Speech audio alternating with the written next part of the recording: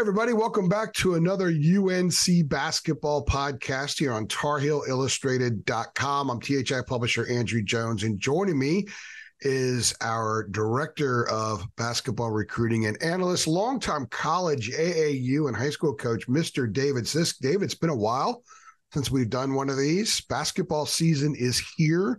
You're coaching your team.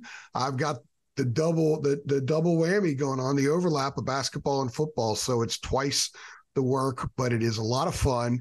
And I'll tell you, there's a lot of excitement in my universe, the media universe, about North Carolina basketball. And I assume so with the fans too, because there's so much newness. There's so many question marks about this team from a personnel standpoint, how certain guys will be, how they'll mesh together. And in year three of Hubert Davis, how is Hubert going to coach this team? I think we'll learn a lot more about him as a head coach based on how he handles this team. So I'm going to throw it right at you. What are maybe two things that jump out at you about this team that intrigues you the most. And just so people will know, we're going to get into all different kinds of aspects. Just hang around, saddle up for a while. We're going to have a fairly lengthy discussion here.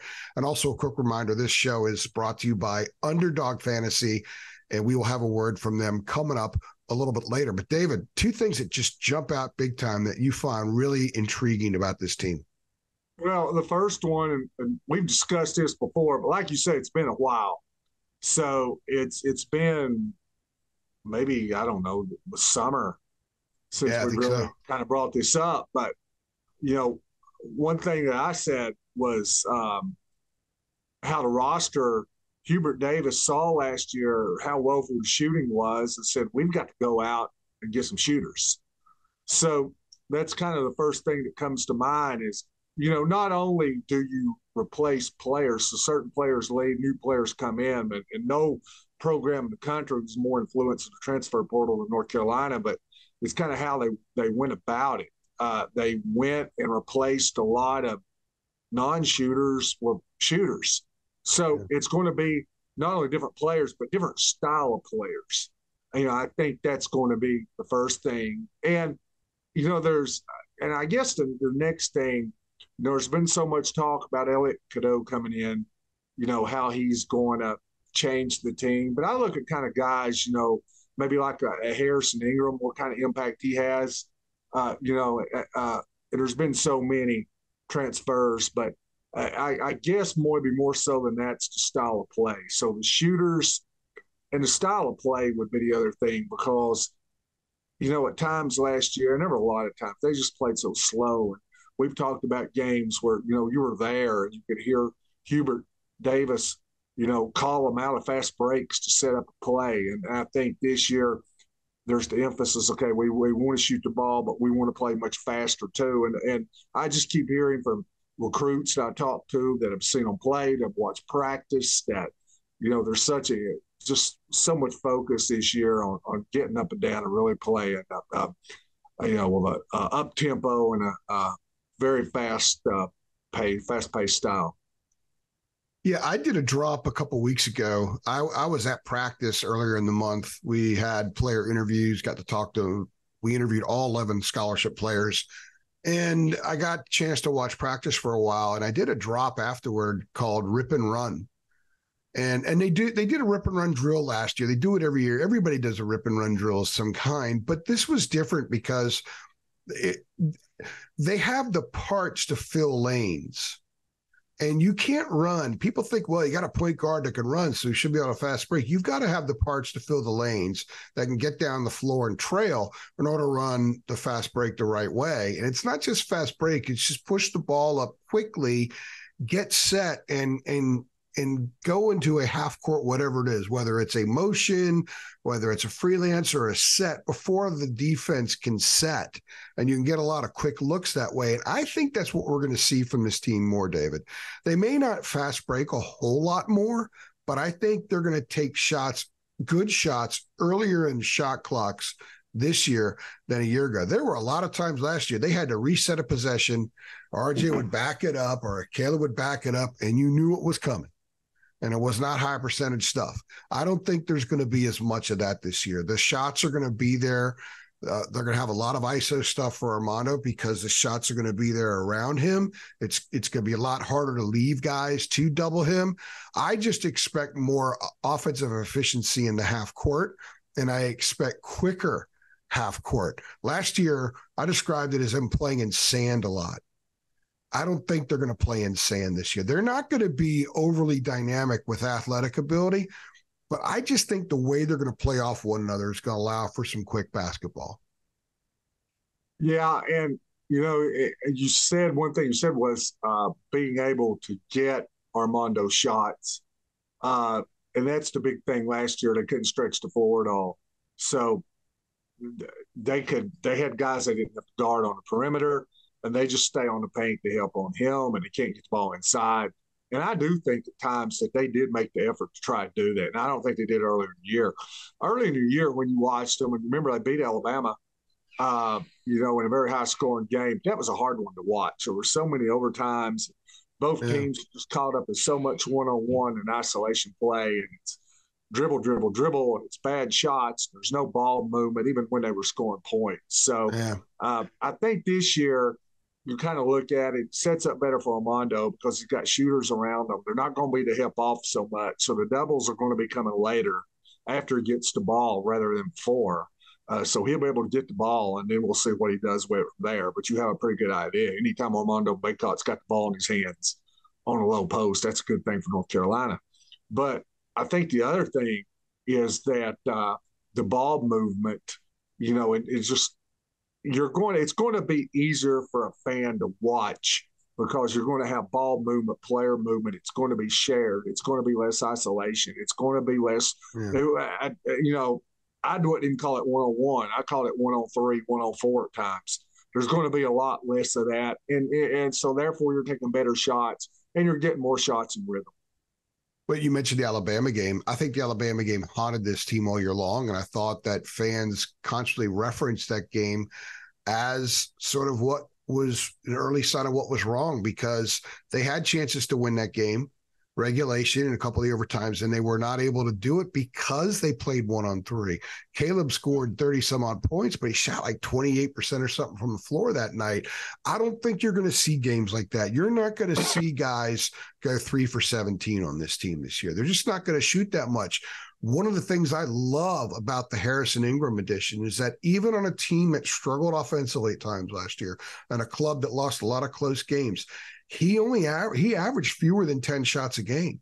He didn't think that he had to just take over the game and will a team to victory, whether he was capable or not. He still played within the framework of the team. So he's if you slide him in and say he's getting shots and Caleb's not, you're not going to see him go three for 13 because he's or three for 17. He's not going to take 17 shots unless he gets 17 great shots. So I do think that they are going to be more efficient simply with that. They're going to be a lot more three on three, five on five than the one on three stuff. The one on three stuff is probably a thing of the past, at least with this team. I just don't see the makeup of these guys buying into that kind of approach. I think that they want to be more connected because this is a goal is greater than the sum of its parts kind of deal. Uh, and let me say this: I, you know, since we made the North Carolina Alabama comparison last year, I saw Alabama play uh, live three times last year. I saw them. Um, I went and watched Kentucky play them in Tuscaloosa, and I watched them in the SEC tournament. I watched them play Missouri and I watched them play. Uh, gosh, I can't even remember the other team up there, but I saw them twice in Nashville in March. And you know, you you watch them in games and, and even on TV, and you're like, is this the same team North Carolina played early in the year? Because man, there was times that offense just looked unguardable, and yeah. uh, it, it, and it wasn't all that stuff they had you know, when they were playing North Carolina earlier the year, where North Carolina really didn't improve. So, yeah. my question I wonder this year, I think we do think the offense is going to click for North Carolina, but there is a question when does it happen? Because Alabama's didn't early. So, a lot of new players, a lot of guys still trying to learn each other, you know, and it gets a lot different when you're playing really good teams and you've got yeah. different guys. So, does it click early? If not, can you be patient and get through it? And then does it grow? I, I think it's going to get better as the year goes. I think that's going to be a big difference. Is this they're going to get better? So early on, how good will it be? And and then when when does it really start clicking? It may, who knows? It may click game one and just hit right off the bat. But you know, when does it really start taking place? And I think fans need to have patience a little bit because I do think it'll come together. I agree. They have smart guys. They have older guys. They have guys that have achieved, and and they have something that I think is really, really interesting. And we're seeing it during this period because of the the uniqueness of college athletics right now, where some guys are playing a sixth year. Uh, is that the fact that they have five guys on the roster that were captains last year, and they're going to start four of them. Bacot Davis, Cormac Ryan, and Paxson Wojcik. The other guy who was a captain was Jae'Lyn Withers. And Harrison Ingram told me he would have been a captain. He was basically a, a, a pseudo captain because Jarod Haase, who's a Roy Williams disciple, has a rule in his program that seniors are captains. But Harrison was the fanny smacker in the timeouts. Harrison was a guy who had the ball at the top in clock situations and would gather the team uh, at the at the free throw line before a free throw shot and call the defense and that kind of thing. So in a sense, they have six captains, five who were named captains, and six guys who had the role of captain last year. How do you think that that will help them get through what could be some early growing pains as they figure this thing out? I think it helps because I think when you have that, you have guys that are about the team, about making other players better, putting others before themselves. But I think you've also got communicators, and that's big. You know, we've got a story up right now with Drake Powell and I talked to him. This is as we do this. This is a Wednesday night. I interviewed him last night, and uh, talked about, hey, what are you really working on? I, you know, and I, I thought it might be, you know, will it be outside shootings? Going to be those kind of things? And he said it's communication. He said my hmm. coach has really spoke uh, talked to me about the need for communication, and he's he said I've got these clips from guys like Tim Tebow, uh, you know, and and others, and um, you know, and one thing he said was going to you know, North Carolina and watching practice and watching all that. He sees how important it is. So yeah. that tells me, yes, it is important. The coaches think it's important, but more than, than anything, how it translates right now, I think he goes to practice and he sees North Carolina players, like you say, that are accustomed to that role and know know they know how to communicate effectively and that's what they're doing. And I think that kind of sticks out to him and others when they come and watch them is, hey, these guys are communicate. And I'll say this: you talk about individuals, you talk about all the captains. I'm gonna tell you, uh, uh, uh, two of the better communicators you'll ever come across are Seth Trimble and Jalen Washington. So even guys who are not, I mean, Seth Trimble's as personable as it gets. So, and I've noticed that's the kind of Josh Hubert Davis have, kind of brought in. I mean, you look at right now, James Brown, great interview, great, uh, great communicator, you know, personable, personality, outgoing. Drake Powell, personality, outgoing, good, great interview. Ian Jackson, you know, he's just he, he just talks to everybody. So these are they're not bringing in mutes and quiet guys. You know, they're talking to guys who can articulate, communicate and express themselves. And I, I think you then they learn how to do that on the floor. Well, that's interesting you say that because I want to go through a series of things that I've learned over the last month or so being around the team and and get your take on them. But I, am going to hit that right now since you just brought it up. Uh, they have a lot of long-term view guys in the program, and and people aren't really talking a whole lot about Jalen Washington and Seth Trimble. They're not really sure what to say. They don't know what the roles are going to be everything I know about the two of them, and Jalen Washington has clearly proven that through his years of rehab in the summer, and he finally had a full summer of actual basketball this this past off season. But these are two guys that have long term views. Like they, they weren't impatient and jumped like some of the other guys did, and I think that that's going to help this team because older guys are going to play. And then you got a young one like Elliott there who's going to get on the court and play. Seth may not get any more time than he got a year ago when he becomes healthy and he's a little banged up right now. And I and I don't see those guys being a problem if they're not getting the minutes that they would like to have because they have a long-term view. And I think that's going to be an important factor, important component with this team because there's only four returning scholarship guys, and they're two of them. And they're two that may not play as much as people expect this year. Certainly Jalen, but that doesn't mean next year he won't be a starter yeah. and be a 15 and 10 guy. And I think both Jalen and Seth understand that. I think that there's patience there and they understand the long term view. And that's going to be part of the component of all these mature guys, these communicating guys, these thinking guys that they're going to have. So when they do go through some tough spots, I think they're going to be able to get through it better than last year's group did because I just think it's a group that is wired to handle some of that stuff better than last year's group was. Yeah, and it'll be interesting, you know, how how deep Hubert wants to go. And because, I mean, you can look at this lineup and say, well, man, there's a lot of guys you can play here. But if you'll remember, the first year they called it the Iron Five. Now, I yeah. know that you've gone out and said that they have, that he didn't really intend it to be that way, but that's the way it turned out because those were the guys that stood out.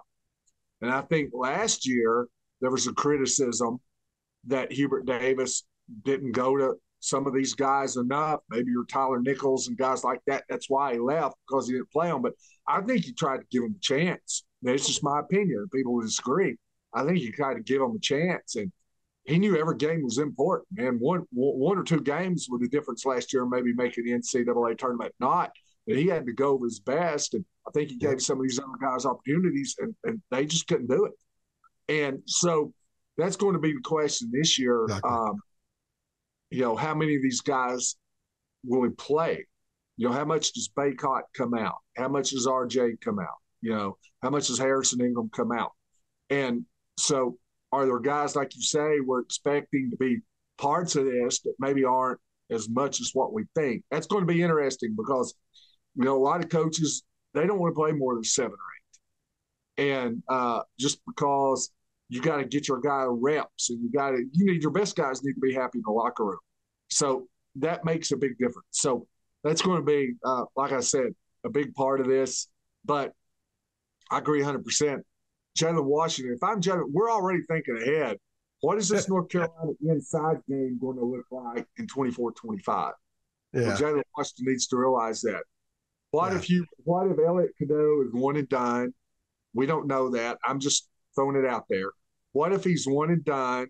You know, and RJ decides, hey, I'm not going. You know, he could come back for year number five if he wanted to, but I'm not going to yeah. do that. So there you are again. So it's you know, Seth Trimble's show. So. Yeah.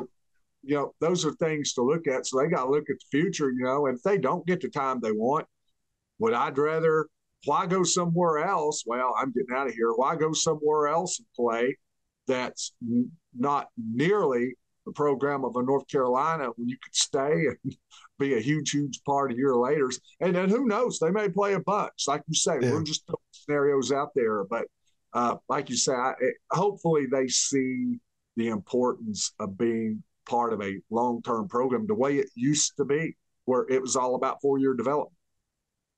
I, I want to hit on the bench a little bit later and get your take on a few things. I'm going to go through some stuff that guys uh, told me over the last month or so talking to him. And I will say that Armando said last week that he's not going to play as much because he said he wore down the last two years. He's not going to play as much. He wants to come out and he needs to have more of a break. So that's the Okonkwo uh, uh, uh, part there. That's maybe Zayden High being better than people thought coming in. We don't know yet that that could be Jae'Lyn Withers with his length, able to. slide. He's pretty big dude. He looks like he's closer to six ten than than six eight, sliding down, and helping out. But I think that that's going to be intriguing to see how Hubert saves in minutes with Armando, especially early in the year. So here I'm going to hit on some stuff that I found very very interesting, and I think in some cases bodes well you're a, you're you're a coach. You've been coaching for a long time. You understand shooting. You understand the the mental aspect of shooting. You also understand the difference between shooting off the dribble and shooting in a catch and shoot situation.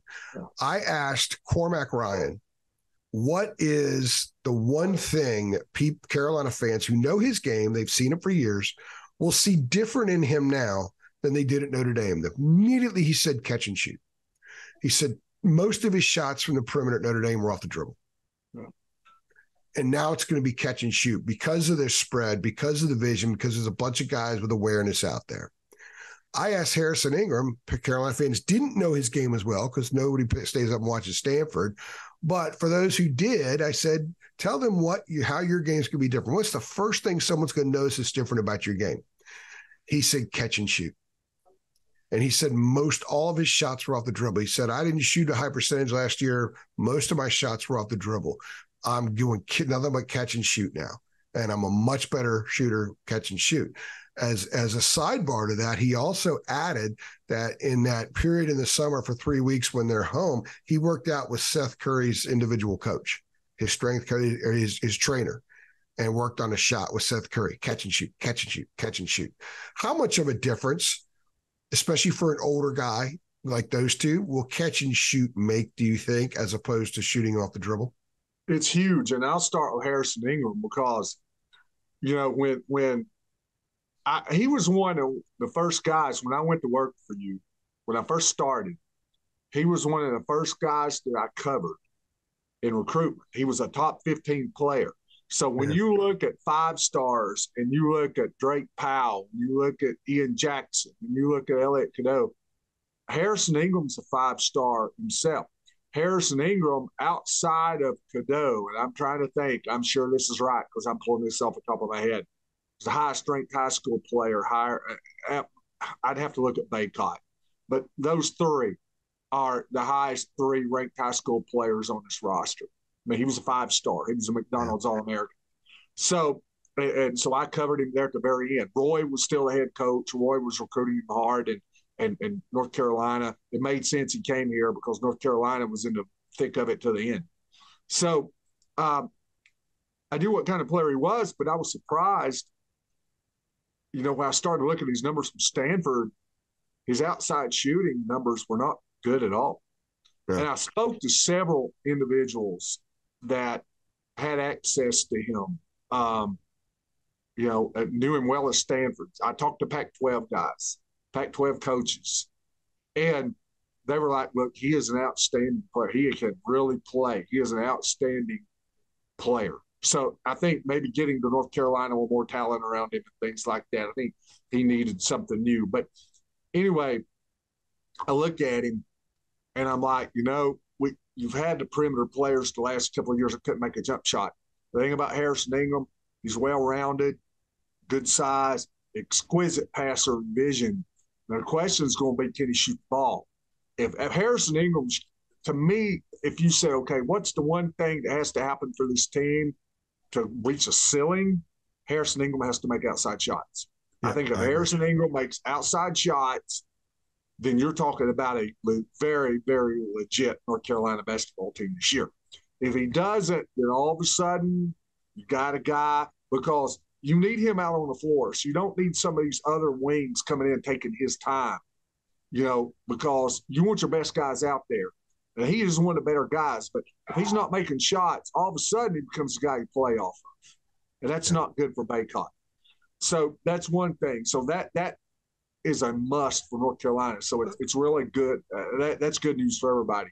And let me, let me jump in real fast. Go back. Go back to the. Let me jump in. I want to ask you a quick question about that, so I don't lose it.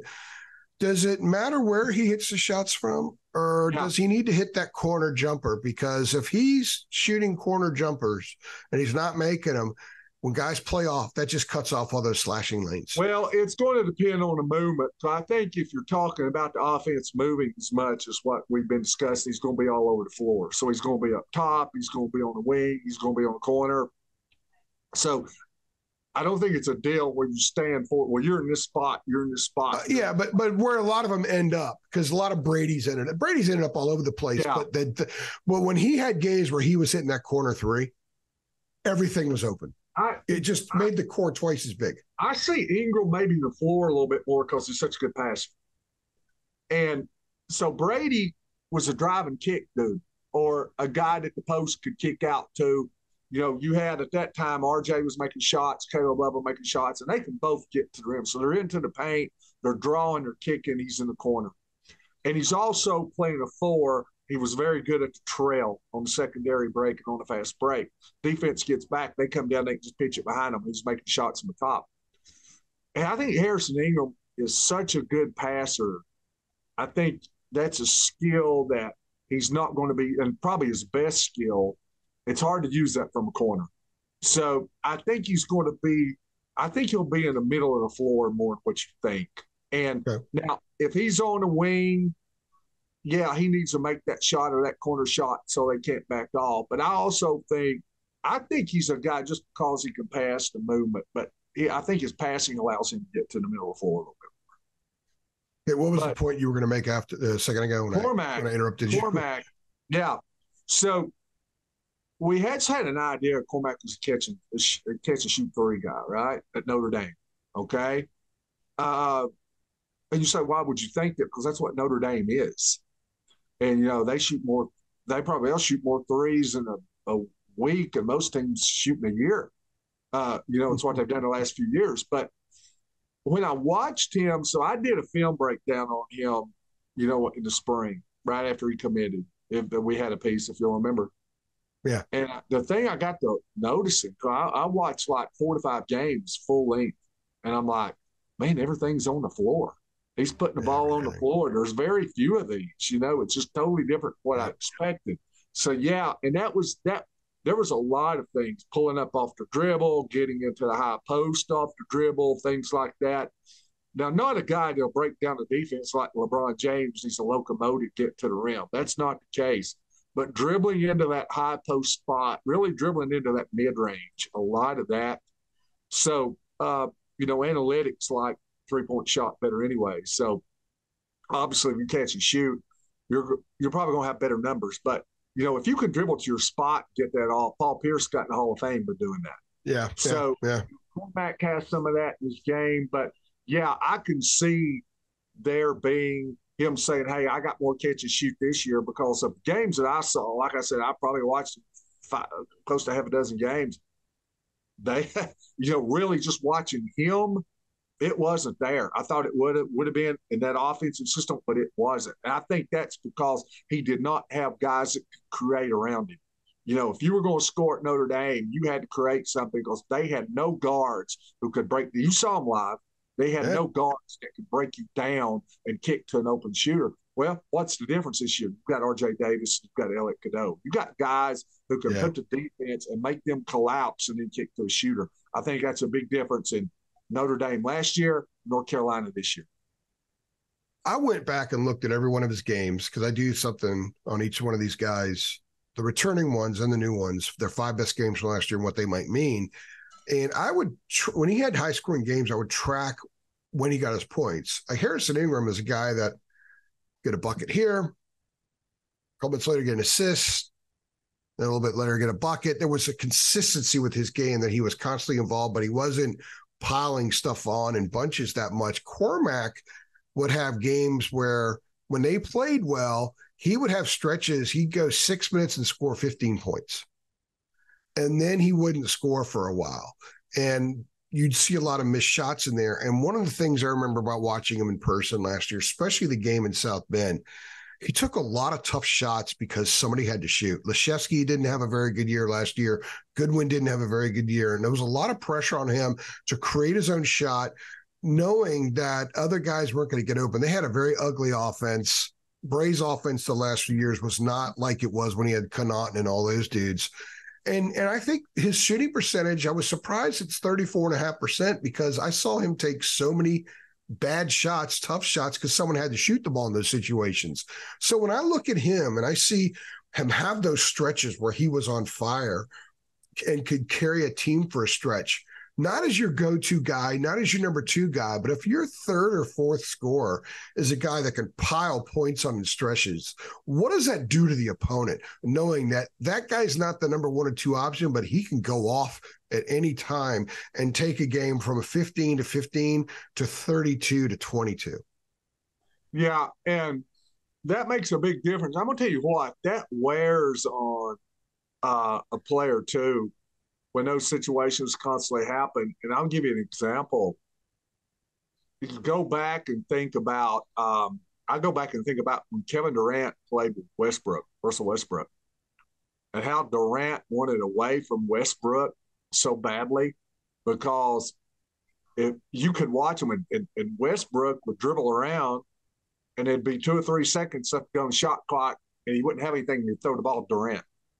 You know, Durant made is unbelievable how many times he got the ball well, two seconds left on the shot clock simply because Westbrook didn't get a shot off. And it's like, okay, instead of me taking it, I'm throwing it to you. And, you know, that was a, a big deal at that time. It, it was well documented. So uh, I think it wears on you. I, I just think throughout a season, you know, you hear that like in football, there's nobody healthy, everybody's hurt, you know, in football about this time of year. Well, I think basketball is so long and arduous throughout the season that it wear there are things mentally that wear on you. And and I think if I'm a basketball player that would, if if I can't get it's like playing golf and not being able to make a putt. You know, you can you can hit a fairway every time, you hit a great iron shot, and man, you can be the best ball striker in the world, and you constantly have five foot putts and you can't make one. And I think that's the same, and that makes you want to quit. So yeah. I, I, think basketball would be kind of, you know, it's kind of the same thing. It doesn't make you want to quit. It's very discouraging when it's just, you know, you can't get a clean look. And it's just, it's going to be hard to make shots. It's going to be hard to have good field goal percent. It's going to be hard to do any of that simply because you can't get, you can't get a clean look. You can't get a good look. Everything's going to be just contested. I think it affects the rest of your game. So you do get a good look. Sometimes guys will rush it a little bit because, oh, I finally got something here. We're going to get into other, a bunch of the other Tar Heels. We're going to talk more about this. We got a lot going on here previewing the 2023 24 Carolina basketball season. But before we continue, let's very quickly hear a message from our sponsor, Underdog Fantasy. Yes, guys, we are so, so excited to be partnered with Underdog fantasy. And we decided to partner with Underdog because it's the easiest place to play fantasy sports. And it's also the fastest growing fantasy app in the industry right now as well. And Underdog Fantasy has so, so much to offer, including their pick'em game. And in pick'em, you pick whether your favorite players will have a higher or lower stat total in this week's game for a chance to win big. It's so easy to play. Just pick two to five stats of your favorite players and choose whether they'll go higher or lower. You can 20x your money by going just five for five. They also have a Best Ball Mania. If you think you know football, you need to check this one out. This year's Best Ball Mania has $15 million in total prizes up for grabs, with the winner taking home $3 million. So sign up today with the promo code HEEL, H E E L, and get your first deposit doubled up to $100. Visit UnderdogFantasy.com or find them in the App Store. And don't forget to register with that promo code HEEL to get your first deposit doubled up to $100. Must be 18 plus and present in the state where Underdog Fantasy operates. Terms do apply. And if you're concerned with your play, call 1 800 522 4700 or visit ncpgambling.org. Back to the show. All right, we appreciate Underdog Fantasy partnering with us all football season long so far, and they'll stay with us through the football season. And hopefully, we'll have some time together during uh, basketball season as well. So, David, uh, I was talking to RJ Davis last week in Charlotte. I, I was asking some questions about Paxson Wojcik, and I made it a, a mission You're of a name dropper. You remind me of Charles Barkley. You're a name dropper. Why? Well, I'm a name dropper. You know all these all these stars that you hang out with. Well, I mean, I had to do it for my job. That's all. It's not like I'm hey, hey, RJ and I went out for a bite and and all that. Although I did have a nice word with with Joel Berry. And Joel actually, since you brought it up, I'm going to go ahead and name drop that too. Joel said that he's hearing great things about Cormac Ryan. That's what he told me. So, and he says he thinks his has team has a chance to be really, really good, a lot better than last year. He said. So anyway, no, enough of my name dropping. So in the in the in the nature of my job, I was talking to this guard named R.J. Davis, from North Carolina last week. And I, my mission last week was to get a lot of stuff from RJ and Armando about Paxson. And it's because so many people are kind of bent out of shape that Paxson is in the starting lineup right now and Elliot Cadeau is. And so I wanted to get what RJ and Armando would tell me, I think genuinely about Paxson. I think we're gotten to the point with both of them and how I have a working relationship with them that they're going to be pretty upfront about some stuff. So the second thing I asked RJ I don't even remember what the first thing was, but we have it on the video on the channel. I, I said Paxson had 13 rebounds in a game at Michigan State last year, and RJ's eyes bugged out. Like, what? He didn't know that. So, yeah, he had 13 rebounds in the game at Michigan State, and then he had a game a week later at Northwestern, had like nine. And RJ said, Well, that explains that explains a lot. Uh, what do you mean? He said he's getting rebounds all over the place in practice, offensive end, defensive end. He's getting them from the wing, weak side offensive rebounds. And he's a gritty guy. And he said, You never would have thought it. I had no idea that that's the kind of player he was. Armando said the same thing. He said he's really surprised at the kind of player Paxson is. When he showed up, he didn't think he was that kind of guy, didn't think he played with the edge. So I'm going to ask you about Paxson Wojcik. He's a guy that showed skill. He could shoot the ball pretty well. He's got nice assist numbers. He's a player that at Brown, as a captain, had a lot of games where he'd get a decent number of rebounds, maybe seven rebounds, five assists, 14 points and his scoring really picked up late in the season last year. So, what does that tell you about a guy like that? People say, ah, I was in the Ivy League, but he goes into East Lansing. His dad's an assistant at Michigan State, so they scouted his dad, and and his dad knows what kind of game his son has, and he still goes in there and grabs 13 rebounds. What does that tell you? We knew he was rugged if you go back and look at numbers, we broke all that down before, you know, as soon as he, uh, when we knew he was a candidate to transfer, we broke all those numbers down and those stats. Yeah. It was obvious we were looking at a bigger wing who was rugged. You know, it, it you look at some of these kids and, and look, it's the elephant in the room. You, and I'm not going to say why, but you look at some of these kids and you're going, okay, I'm looking at him. I see what he looks like he's a catch and shoot three point shooter, you know, and yeah. we all do that. He was not. He is a rugged kind of kid, a rugged player, like you said, high volume rebounder from the wing spot, physical body. When you look at him, older. So I'm not surprised by any. Of course, you playing at a smaller level, you don't know how that transfers to the big time. It doesn't get yeah. any bigger than University of North Carolina, but obviously the mental makeup and toughness is there. Now, does it catch on physically, you know, on this type of level? You know, he's not not going to have any back down in So none of that's a surprise. And if you go back to North Carolina, as long as I can remember, going back to Dean Smith, you know, they were always every year one of the top rebounding teams in the country. Whether it's it, it's it's uh, Dean Smith, Bill Guthridge, even Matt Doherty, no to Roy Williams, Hubert Davis. The, these are going to be, these are supposed to be North Carolina. It's what it hangs its hat on. And so he fits that mode well. So what North Carolina does traditionally, I think he'll bring some of that. I mean, you think about it. You've already got Bacot.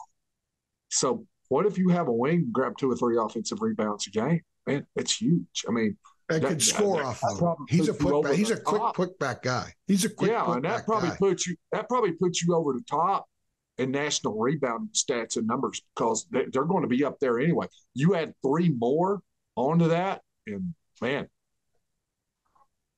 When Jae'Lyn Withers is another guy that can do that. He's not a super high volume rebounder, but he can. I think that I, I'm reserving a lot of judgment on him.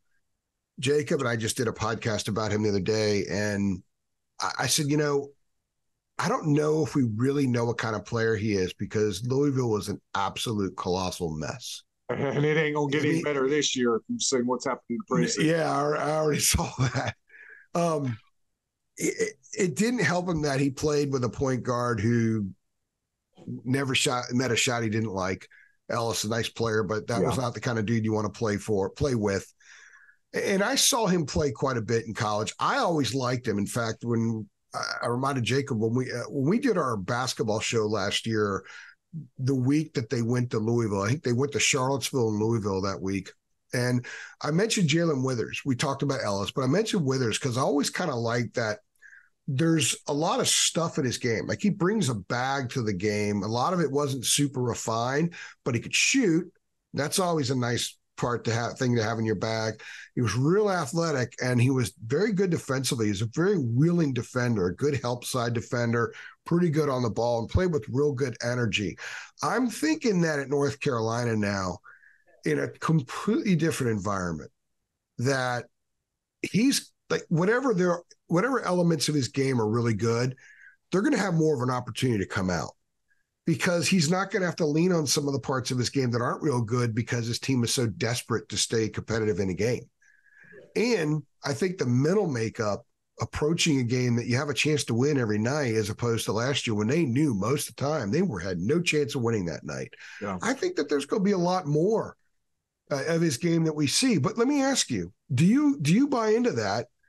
And how much do you weigh on what you saw last year from him being on a team that went 4 and 4 and 28, 4 and 29? I weigh nothing. I put nothing into what he did last year especially if if you are not the ball dominant guy. Now, if you're a ball dominant guy and you're putting the ball on the floor and it's in your hands and you can't create anything and you're taking bad shots, then yeah, I take something from it. But if you're kind of variable and you're dependent uh, on that individual, then yeah, that's an issue. Uh, that's not as much of an issue because you know it, it's you have to have certain kind of guys helping. So you know, I think the whole take is this year, RJ Davis can get him shots. Elliot Cadeau can get him shots. Playing around Armando Bacot can get him shots. And so, you know, I, and that doesn't mean it's a slam dunk, but you have to. I'm not going to say give him the benefit of the doubt, but I think you've got to say, okay, it's a brand new opportunity. So yeah. I, I think that's the way I would frame it. But I also believe that um, you know he, he's done some good things early on too. I've talked to so many recruits that have been in on visits. I cannot remember which one told me this. I've talked to every kid that's been in on campus this fall and done interviews with them. And I'm trying, I have to go back and look. But one of them asked what stuck out when you watched them practice. And he said how good Jae'Lyn Withers was. Yeah. So, and I'd have to go back and see which one it was. But he uh, I, he has impressed some people that obviously know basketball. He brings an athletic ability that they haven't had a lot of in recent years. And the thing I really like about him, and I like this a lot about Cormac Ryan, and Cormac did this at at, at Notre Dame sub too, is they both fill the lanes really well, and so does Ingram. And that's what I was saying earlier about them being a fast break team. They may not be a super fast team, but if you economize all of your movement and you're really good at cutting. And if you can cut, and you can catch, and you go right up and score. That's huge. That, that you're going to be a step quicker than what people would think your natural athletic ability would command. And with Ryan and Ingram, they're both those kind of guys. And Withers is just a freak athlete. He's a win dunk a dunk contest kind of guy. I also think he gives them a baseline element. I asked Harrison, I said, "Are you a baseline guy? You, you play baseline?" He kind of way his facial expression told me no, he's not much of a baseline guy. Not a lot of dudes are. It's kind of a lost thing in the game a little bit, but uh, but Withers has baseline game. If he's got a two dribble baseline game and he can square, he's going to finish. It's a really good finisher around the rim. But but David, he's a good shooter. That's the one thing I take from that and his defense and his bounciness. That's what I take from Louisville. If you can hit shots in that offense, you can hit shots. And he hit some tough shots. He was pretty consistent at it. And and in, when they played well, when they won games or they were close against good teams, he always showed up. He was always in that 12, 14 points, you know, eight rebounds. And he stayed in the game, didn't get a lot of foul trouble, and was able to give them a positive presence out there. I think that I'm not going to say that that Coach Davis is looking for a four who is a another Brady Manek because there aren't many guys like that. But I think he wants a guy can bring some of what Brady Manek did. And you know, look, that was a problem last year. They couldn't get any straight. They couldn't get anything from the four spot outside. And if you look, and look, this has been a widely uh, discussed topic on nationally what the opinion on is on Hubert Davis. Is he the coach that went to the Final Four in year one? Is he the coach that didn't make the NCAA tournament last year, or is it somewhere in between? And you'll hear some of the naysayers say, look, in two years, they got hot late February and March of his first year. and that's yeah. been it. But one reason they got hot was because Brady Manek was out of his mind. Uh, you know, once they started picking it up in in uh, 22, 23. So obviously, like we said, I give him credit because it's been a point where, you know, if you do the same, expect different results. That's the definition of insanity. And, and he definitely wanted to change from what he had last year. And I think try to find something like you had Manek. Withers is a different player than Manek, totally different player, but he can shoot the outside shot. So I think having a guy who can stretch at that four spot is a big issue for them. I think it really frees up the guards. I think it frees up Bacot. And, uh, but it also him being bouncy, like you say, that's a good thing because and that's yeah. a big helps defensively. It just helps. The more athleticism, obviously, the better. So, uh, you know, hopefully for North Carolina, you know, he's got a ceiling I think he can play to. So if he does that, it's going to be very good for the team. Well, they also have a couple of options at four. Last year, they kind of had Pete, and that was it. That yeah. Pete was the other big guy. That was pretty much it. Jalen wasn't ready for a long time. Now, I think that some of these parts can be a little bit interchangeable, and you can use certain guys against certain styles and and kind of move them around accordingly. So let's go to a couple. Um, we don't want to spend much time on Okonkwo, really. Um, don't want to spend much time on Zayden High, even though I'm hearing really good things. I don't want to have a two hour podcast here. I'm going to ask you about the two main returning guys and just tell me straight up what do you expect from RJ Davis? And then we'll hit Armando after that. I think it'd be a first team type All ACC. Uh, I'm an RJ Davis fan. Yeah. I have been unapologetic. Um, if you look what he did two years ago, and then you look at what he did last year, RJ Davis to me was a the bright spot in a bad year. He brought it. If you look at numbers, if you look at shooting percentages, if you well, okay, North Carolina couldn't shoot outside shot. Well, RJ could. You know, he made shots. Uh, games where North Carolina didn't show up, RJ showed up. And at times you kind of felt like he was really just kind of carrying his team on his back. And uh, I, I, just see more. I, to, to me, he's been everything you could ask for in the last two years. And I don't see why this coming year is going to be any different. Um, I've had people text me and they wanted Cadeau to come in. They were down on the whole team, but they were like, RJ's not the answer. And and they were North Carolina fan. I'm like, well, look, man, don't throw RJ under the bus on this. Boy, you better uh, yeah. think you're lucky stars you've had RJ Davis. Uh, yeah, I, I, don't, I, don't, have enough good things to say about him. He is, like I said, I, I, when things were going good, he was there. When things were not going good, he was there. And I, think he's just giving them. He, you talk about ability. We talked about players having a tough time playing through things. So tough year at North Carolina last year, and RJ Davis never wavered. He's talented. Toughness is not an issue. So yeah, I'm all uh, man. I, I'm all about RJ Davis, man. I'm a fan.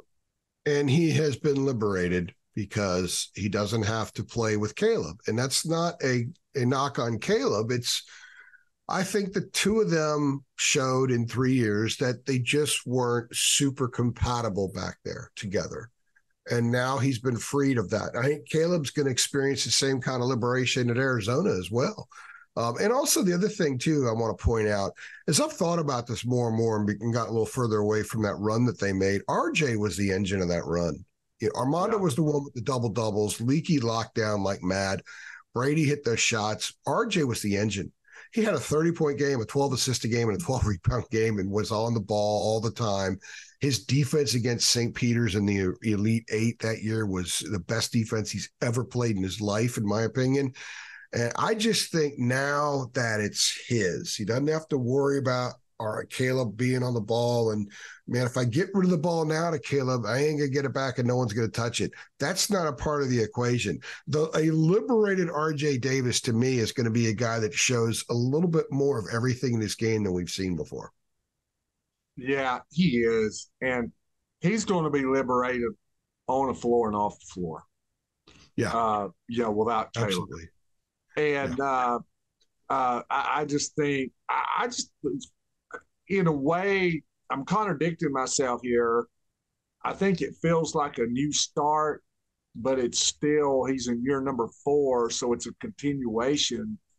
He doesn't need a new start as far as what he does. He's probably got a new start around him, and that's probably a common theme. You know, where Jae'Lyn Withers needed a new cast. Yeah.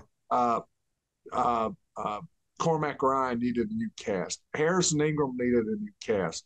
Well, RJ Davis and Armando Bacot needed a new cast. So yeah, they did. Uh, I think you're looking here where everybody on this team basically, you know, needed a new look, needed a new family around them.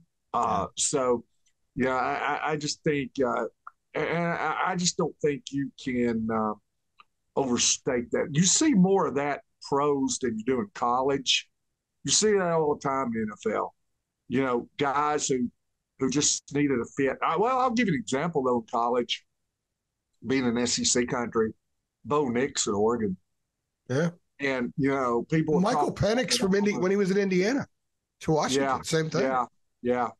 But I'm a, I, I follow Auburn football quite a bit. I have since I was a kid, and uh, they uh, he was obviously talented, but you know, and, and Malzahn was supposed to be a quarterback whisperer, but um, yeah.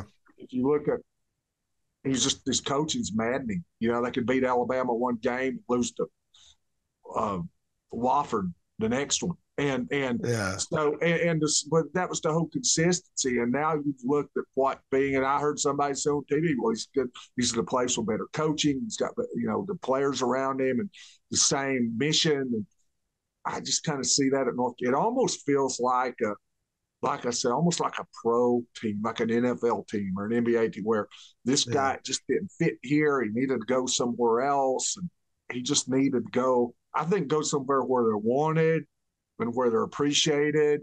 We've heard that about Dan Campbell at, at, with the Lions, with uh, uh, the quarterback that was with the Rams.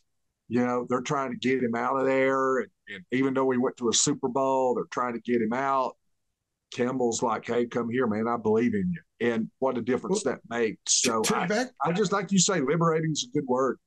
Well, to back up what you're saying is that's exactly what RJ said. One of the first things, the first time I talked to him in early October, I asked about. It, I said, "Did you guys need all this freshness, all this new stuff, this newness?" I, I said, "You need all this newness." He said, "Yes, we needed. We need to be fresher. It's fresh." Yeah, Armando said it was invigorating that early, and, and Kayla or RJ said again last week. He repeated something he said earlier in the month. So you know when they repeat it three four weeks apart, you know it's pretty pretty straight up, right? He said he felt it right away. So imagine the pickup that they were playing the way being around each other and how old it had gotten in a in some ways. And suddenly you got a guy like Cormac Ryan comes in there, who, when he screws up in practice, he kicks the ball into the rafters and screams. And you've got a guy like Ingram who is much better fanny smacker than anybody realize. It has no problem fa- smacking even Armando's fanny, right? And then you've got a guy like Withers who will dunk in your face and stare you down in practice. I, I think it's the newness, it's the freshness, it's the vitality that these guys bring. And there's a level of passion that each of them play with, including Woj. We were talking about what he does. There's passion. I think Armando described his game as being passionate. I, I think that those are all parts that are good for Hubert. Hubert needed something fresh and new too. He inherited a lot of the Roy guys and he tried to make it work. They had the great run. But you know what? That's why I think year three is a year we can look at Hubert Davis and say, okay, we're going to really know if you're a good coach or not now because you've gone through the first two waves. The first one was just for him, his head was probably spinning, and anybody's would be in that situation. And then suddenly, this group that was maddening got hot and took him to a title game. And then last year, he learned about expectations himself. He learned about the noise as well and how that can affect teams. And you can't completely get him to turn off the noise. You can't do that. You can't expect that they're not hearing what's being said out there. So he brings in a group now, a lot of maturity, a lot of smart guys, got some college graduates in that starting lineup. And I think a group that has more of a common we mission. That's just a sense I'm getting. I could be wrong. They could end up being an NIT team, David. I have no idea. I think they're going to be a lot better than that. And I think that there is uh, sort of what Brady wanted to get out of the UNC experience was different than what Dawson Garcia wanted. And I think there's more Brady missions here with the Ryan, with the Wojcik, with the Withers, with an Ingram than there is a Dawson Garcia mission. Is that fair to say, do you think? Yeah, I think so. And I, I saw uh, my good friend uh, Terrence Oglesby is doing ACC review on Field 68. He did North Carolina yesterday, and he said um, at, at, at, least he thinks this is a second weekend team in NCAA tournament. And people ask me about teams, and and um, I uh, I'll get asked about certain teams, and they'll be like, "This is don't you think this is a Final Four team? This is a national championship team." And in college basketball, I never use that. Now I will in college football. Is Georgia a national championship team? Is Michigan absolutely? Yeah. But there's the thing: you're talking about a 12 game regular season, and then you get you only have four teams of a chance. You can this year's been different, but most years you can name the four in July. Whereas in basketball, it's different, man. You you have one bad half and you're done. And uh, if you're not, if you have a poor night shooting, I don't care how good, how many, you know, you win your conference tournament, that's probably the kiss of death going into yeah. the NCAA tournament. So, you know, being hot, trending the right way, it's almost like the baseball playoffs. It doesn't matter. You know, Arizona Diamondbacks win 84 games during the World Series. It's much more like baseball than it is. Win 101 yeah. and don't win a playoff game. Yeah. So, the, in so college basketball, you're talking about how deep you go in March. It's more like Major League Baseball than it is college football. You know, it's, it's who gets hot. You know, who has a bad game, who has who's bad, who can make a shot down the stretch, and if you can't, you're gone. You know, there's no best of seven. There's no any of that. So um, people ask me, that's why I say I never know. The best hope that I can give you, I think if a team, if you get to the round of 16, or maybe you say, okay, I think you may be good enough to get to an Elite Eight, then it's one game at a time, you know, and yeah. the upsets and all that. Those first round games, in the NCAA tournament, that's where the March Madness is at. That's where everything's crazy and then things kind of settle down a little bit more. So if you can get through that first week, yeah. then everything kind of all things are kind of equal. So I, I think that's about as good as a compliment you give a team is, hey, I think you can get through first weekend. Yeah, I agree because what you're saying is you're not saying that's the baseline, but you're kind of saying that's sort of in the middle what we're thinking right now. And if they're a little bit better, that means you get to a third weekend and not just the second weekend. And if you fall a little bit short, maybe you make the tournament, but you go out early, you have that bad shooting night. You don't have anybody that can make up for it, which that club experienced a lot last year. They just didn't have good shooters. I do think they have more shooters now. And I agree. I think I agree with what Terrence is saying. I think I think second weekend is fair.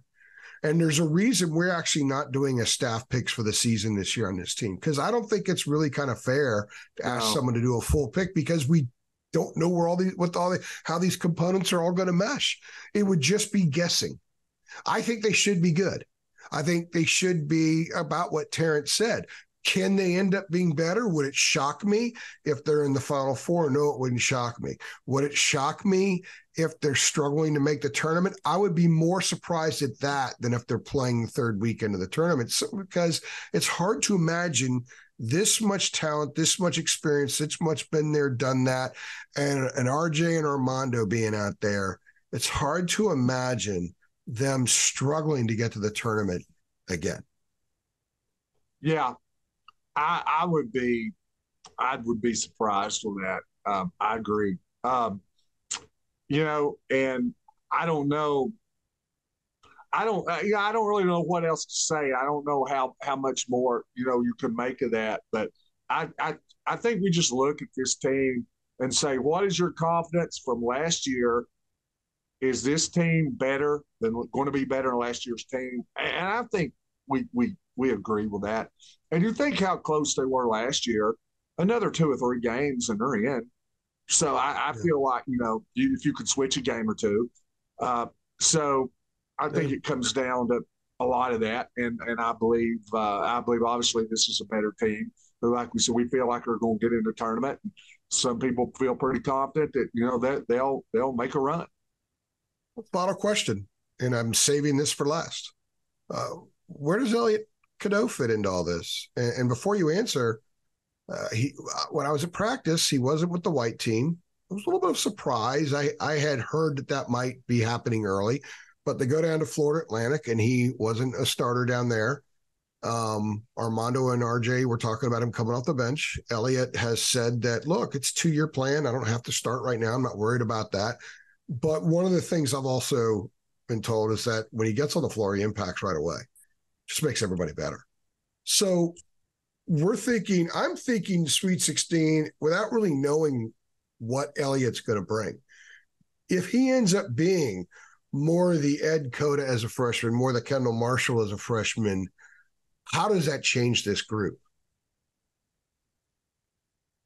I thought him. I, will say this. Um, I've got a, a friend of mine who uh, is one of the very, very top assistant coaches in the country. If if you look, you you'll have these um, not necessarily polls, but you'll have articles on the top assistant coaches in the country. That he's mentioned on every one, like the top 20. And uh, very good friend of mine. So I sat with him. He's the same one that told me Drake Powell looks like a North Carolina player. You remember yeah. that? Yeah, yeah, yeah. How do you talk about? I, I sat with him that Saturday afternoon, pretty well all afternoon, caught up with him. And I said, What do you think about North Carolina next year? And he said, Right now, it's not an NCAA tournament team. Now, this was before they made a couple more additions, but one thing he was looking at was he didn't think the roster was as athletic. Well, when when Elliot tra- uh, reclassed, I asked him about it. He said, "Well, it changes things." And I've told you this: he is the best. He has the quickest hands I've ever seen on a high school player some of the best vision I've ever seen, the best open floor passer I've seen, full court passer I've seen. He speeds the team up just with his presence because he just he passes people open. He gets people in open spots. You run the floor, he can deliver a 60 foot. Magic Johnson used to do a 60 foot no look on the dime. You know, just only God could I've made that statement. Only God can coach that. Yeah. yeah. So he'd, look away and the ball would get there. It's so he's, he's phenomenal. Um, I think I asked him, I said, okay, how does this change? He said, all the difference in the world because he makes them quicker. He makes them more athletic. Um, he's going to be on the floor. So don't look at this and they say, well, what, what are we doing? We'll have to wait a year on too. He's going to be a huge, huge, huge part of this. Yeah. I like guys coming in maybe as a sixth man who bring energy. Uh, and that's normally a role they do. And I look at him and he does that. And I, I think, too, we've had, you and I are not in total agreement maybe of why he doesn't start. You know, you, we were discussing it before we came on. Maybe certain thing we have, you know, certain reasons that we we think maybe why it's not. I'm more. It's for me. I'm more trying to explain the rationale behind it. I'm not 100 percent sure because I I haven't seen him play enough.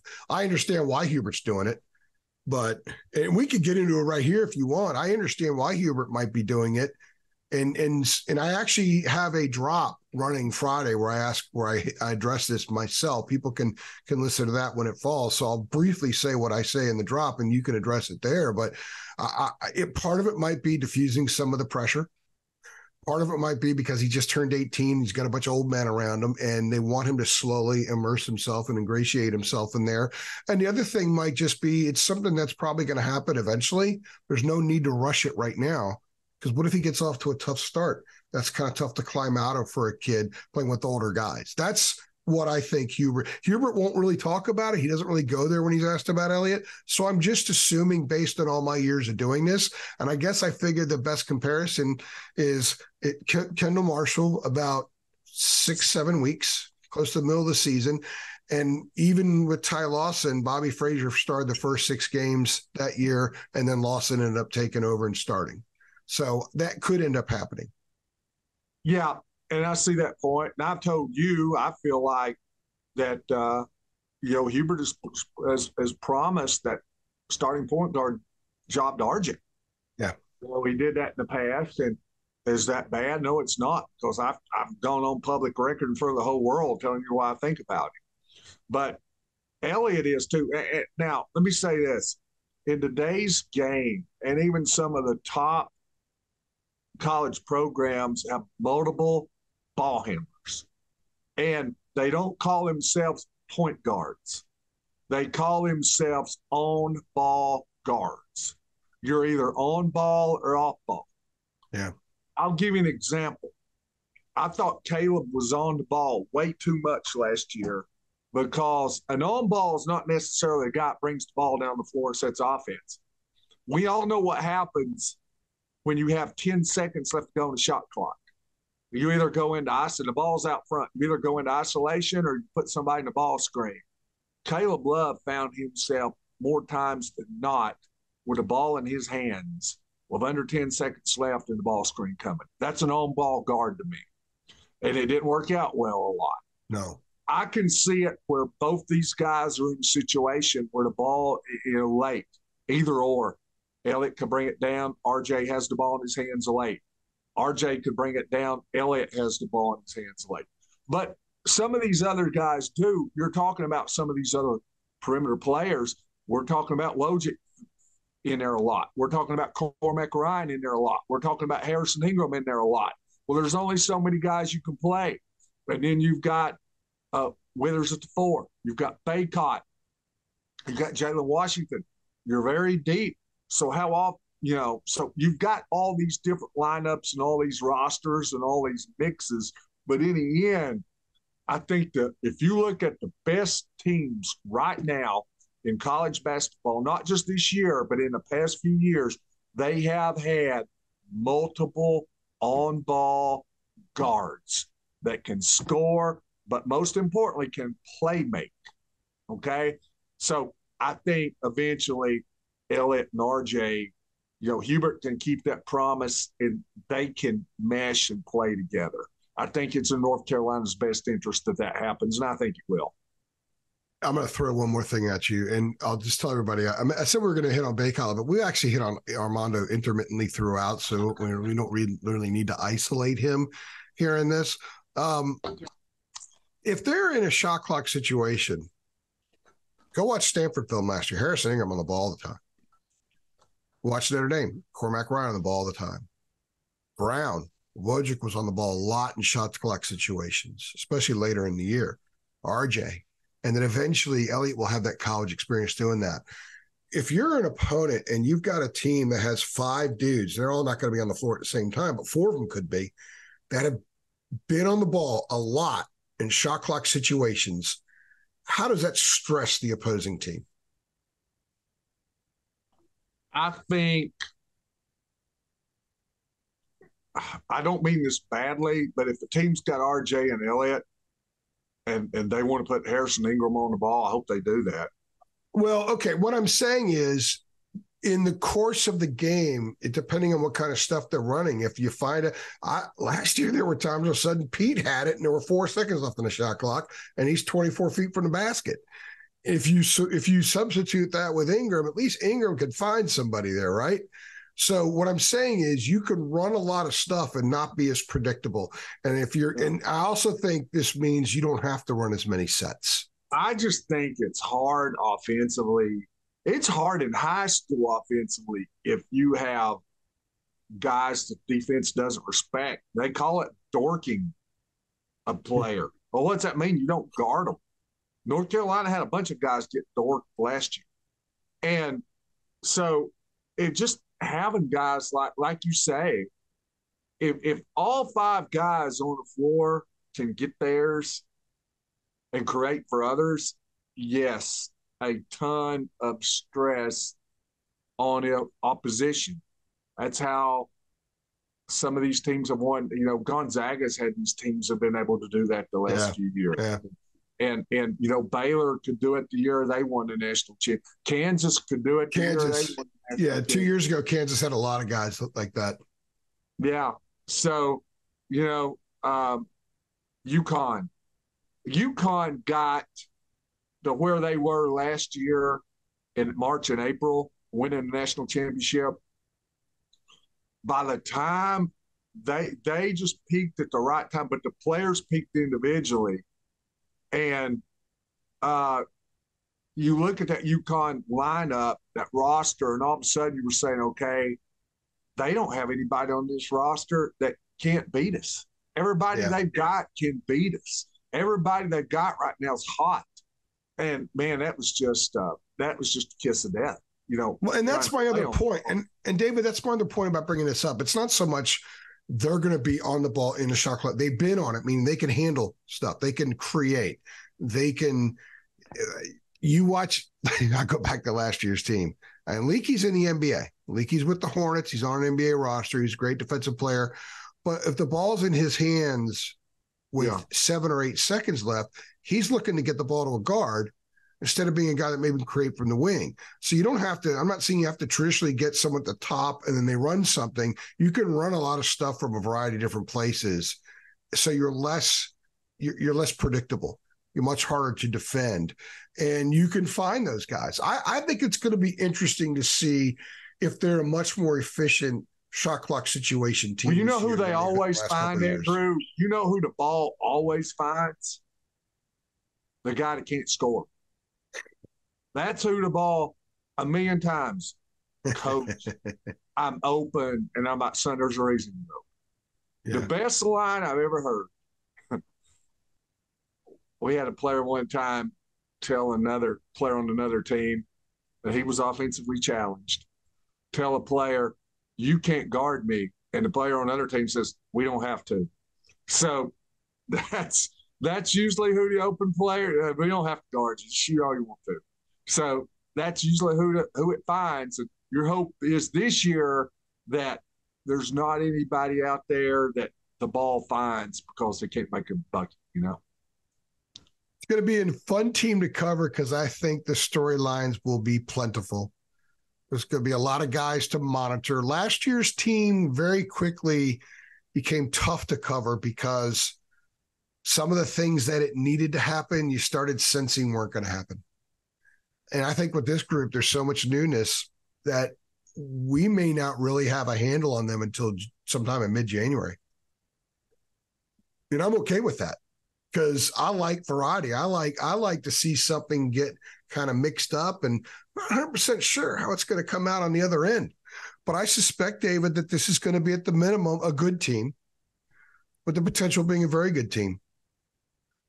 Yeah. And, And- and I, I'm not going to go full Dabo here and say, hey, maybe you need to lose some games to lighten up the bandwagon. I'm not going to say that. I'm going to say the other. I'm going to say, be patient. Now, they may come out like a house of fire, but like I said, oh, it's it's a, a new roster with talent, uh, and, and I think with the way that they play, it'll come together because they want to play for each other and and and, and get the other guy open, get other guys shot. They understand ball movement. They understand passing. It's a smart team, can shoot. I think they they uh, what's the word I'm trying to think of? I, I think you know that they really are able to help the other one with the playing style that they have. Mhm. One plays off another one. Yeah, Um, if one needs to get the ball inside, well, the guy around it can shoot. If one guy can get hot and make shots, well, you've got other guys that can pass. yeah. So I, I, I, think they, uh, I think it in the end, hopefully it'll all work out well. But I, I I've got a lot more confidence. I think uh, I- I'll have a lot more confidence in this. I lost confidence in the team last year early, early, early. early. Yeah, You know, Yeah.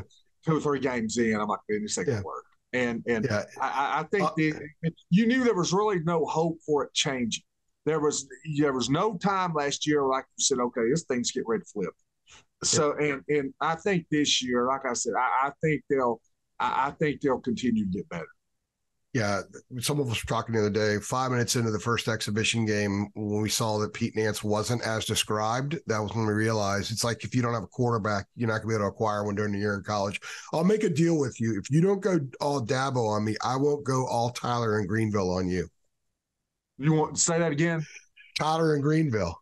Oh, okay. He's he's he's the kid that called the show that that got Dabo all fired yeah. up the other Did you see? Did you see the next day when Dabo came in for the press conference and it, it was uh, Halloween day and he said, uh, he said, uh, "What are you guys? Who you guys dressing up like for Halloween?" One of the reporters said, "Tyler from Greenville." You can say that with Dabo. He's probably cool with it. I'm glad. Look, I don't want to go all Dabo here either, but I I support what Dabo said 100. percent I thought that was great. Yeah, that, how many coaches would sit there and take that? You know, so Uh, coaches have been getting testier. Mack got a little testy on Monday too. Well, he referred to fans that didn't show up when we won two games, but they're bitching about us only winning six right now. He used that word. I thought that was great. I, look, I'm all for coaches expressing themselves. I've told a bunch of my colleagues recently that I'm all for coaches coming after us. If they don't like something we write, I have a problem. I don't have a problem with Dave Doeren did with Steve Smith. I, am all for it. Do it. And I'm, I'm and I'm fine. all for and I'm all for coaches stealing signs. I'm all for well, just do it the right way. Do it during the course of the game, not that way though. Not working hard enough. You know what I call coaches don't steal signs? Lazy. What what is uh who is it that's you know this this was probably an SEC coach said if you're not cheating you're not trying. Yeah, hey, we had a kid one time in the district tournament, high school. I call a play. I'm coaching was coaching girls basketball, and she goes, I call a play on the side out. She goes, let's say, I call North Carolina, and she goes, North Carolina, and the girl was Gardner says, Yeah, oh, yeah, you know North Carolina. You go down to, you're going to go down to the uh, other block and spring this girl up, and I'm going to switch, and then you do this. So she walked our player through the play like before we got the ball thrown in. That was nice of her. That's that said that. that. That's a team that is well coached. Yeah, well, like North Carolina, when Webber called the timeout, everybody on the Carolina bench knew they didn't have any, and a bunch of guys in Michigan are doing this. Who was it that said if you're not cheating, you're not trying? It was got to be an SEC football coach. I know I've heard it. I don't remember who it was. Oh. Anyway, well, Well, I know. Well, oh no, I tell you who it was. Was uh, Tony Siragusa. was it Siragusa? Siragusa just died, didn't he? Yeah, it's Did good. he just die? You're not cheating. Yeah, if you're not cheating, you're not trying. Yeah. Did he say that on the Hard Knock show or something, or was it? Nah, no, but that that that was who that was who said it. Yeah, Wow, interesting. because I, figured remember was, the time. I figured that was coined somewhere in Auburn, Alabama, remember or Ravens- Athens, Georgia. the Ravens, in my opinion, probably cost the Titans at least one Super Bowl, and I'm a tight living in Tennessee. So, uh, and I, I I remember him saying that because you know he fell on the big thing was he was always trying to hurt quarterbacks. He fell on McNair. They would have fined him hundred thousand dollars now. He fell on McNair like went with him about ten yards and then fell on him. He weighed four hundred pounds and put him out for the you know put him out for the playoffs. So That was back in the bounty days. That's probably Yeah. where that came out of. That was the bounty Yeah. days. Yeah. Wow. All right. Well, we, Jacob and I went off the rails a bunch this week. We don't need to go off the rails anymore. We've already been doing this.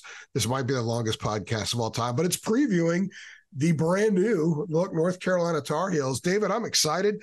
I've got the football basketball overlap now. Monday night at the Dean Dome, Carolina plays Radford. Tar. Heels play again the following Sunday, the day after the Duke football game. So they're in it. They're going to jump into it hard, hit the Bahamas here in a few weeks. And I think we're going to learn something when they're in the Bahamas. For David Sisk, I'm AJ. Thank you to Underdog Fantasy for always sponsoring us. If you like this video, if you're excited about the Tar Heels starting basketball season, click like, make sure you subscribe to our channel, hit that notification bell so you get updates every time we upload, which is often, and tell your Tar Heel friends that we're here, not just here on YouTube, but go to our channel or go to our, our site rather, tarheelillustrated.com, just $8.33 a month for a one year subscription, and you can be the biggest Carolina insider at work or on your block or at your bar or at your Little League field, wherever it is, you'll be a know it all. He's David. I'm AJ. Thanks for stopping by.